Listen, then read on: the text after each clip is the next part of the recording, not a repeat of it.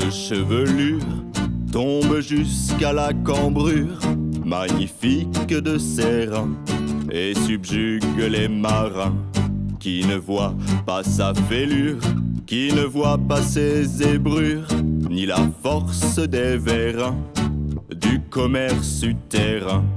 À la rue et à l'allure où vont les pas, elle croit qu'elle remboursera l'enflure dans deux mois, sinon trois.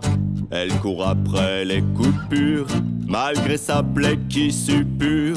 Dans la peur et dans le froid, elle doit longer les pavois. Marie-Thérèse tapine sur le pas, elle a des rêves et une fille qu'elle adore. Les containers l'entendent murmurer.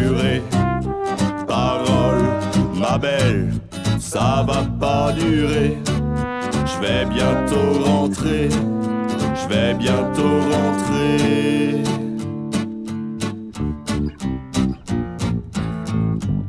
Le souvenir de la gamine agit comme l'insuline, l'empêche de s'effondrer et l'invite à se poudrer. Faut pas que l'autre fulmine, celui qui roule en berline. Sait comment recadrer les petites cylindrées. Dans la rue ou dans la mine, il expédiera l'enfant si sa protégée rumine. Qu'elle racole en piaffant. La menace et la doctrine guident le jeu de poitrine de celle qui se défend en pensant à son fan.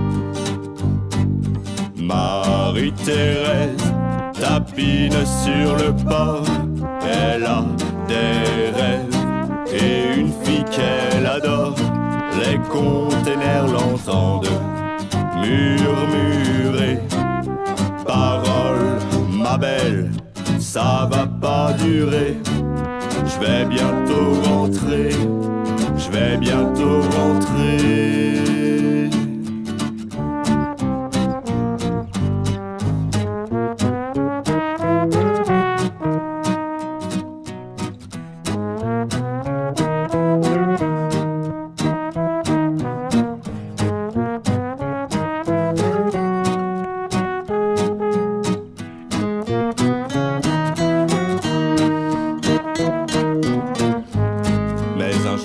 Quelques thunes, un homme demanda à la brune d'étaler dans un canard les à côté de son art.